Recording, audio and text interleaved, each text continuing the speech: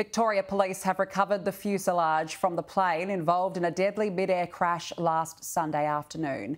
Crews lifted the large part of the aircraft from the water at Port Phillip Bay this morning as part of a complex recovery operation. The fuselage was lifted by a crane and transported to Port Melbourne via a barge. Any human remains will be recovered from the wreckage before Australian Transport Safety Bureau investigators can inspect it.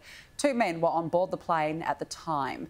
The other aircraft involved in the collision managed to make it back to Essendon Airport with minor damage.